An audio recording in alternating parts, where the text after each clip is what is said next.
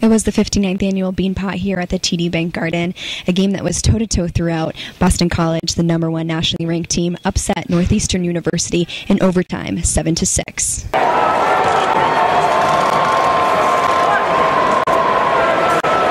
It's just a great experience for me. I mean, that's what I dreamed of growing up as a young guy there to try to have a chance to score that game winner. And uh, thanks to my line mates, I got a puck on net, and I was just going to the net with my stick on the ice. I got a chance to cash in there.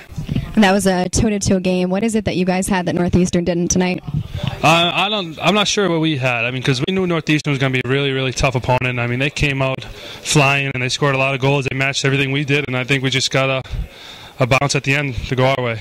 Certainly, uh, we had to get up off the floor a little bit because Northeastern tied it late, late in the game, and uh, I thought during the intermission we were just talking about let's let's keep pushing and uh, see if we can win this thing uh, fairly early in the OT. And uh, I thought that Brian Dumoulin made a terrific pass across to Chris Kreider, and Chris one timed it on his forehand, which is hard to do, and Jimmy Hayes was there for the rebound. So uh, we certainly feel uh, very, very excited about winning a Beanpot. You guys are right now ranked number one in the country. How well do you think you played tonight?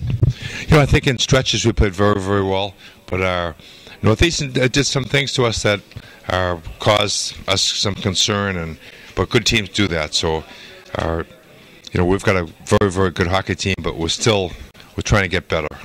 Talk about those concerns that you speak of. Well, they got a shorthanded goal against us, uh, and that's the first one we've coming up all year. But a terrific play by the young guy. Uh, they scored two power play goals against us. Uh, we take great pride in our penalty killing, so we certainly have to tighten those areas up for Friday's rematch. And talk about Friday's rematch. You're facing the same team three days in one week. Yeah, and uh, it was important for us because we're trying to win a league championship and secure our, automatic, uh, you know, another trophy. And to do that, we're going to have to uh, be successful in these next two games. It just happened to be against Northeastern again. You guys had some really wild fans. Talk about how much energy they gave the team. Yeah, I think over the last number of years, our, our student body has become much more active and much more vocal, and uh, uh, we really appreciate that, and hopefully that continues. And can you talk about the physicality in the game? The first period was pretty nuts.